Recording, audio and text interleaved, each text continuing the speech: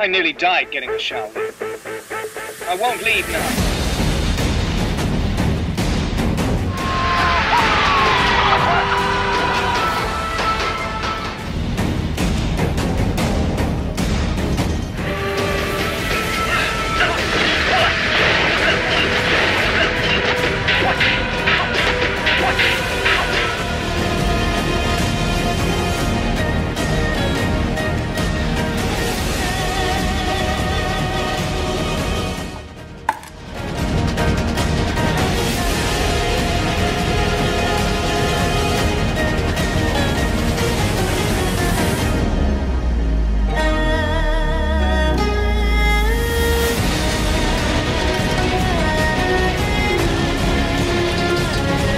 For you to leave.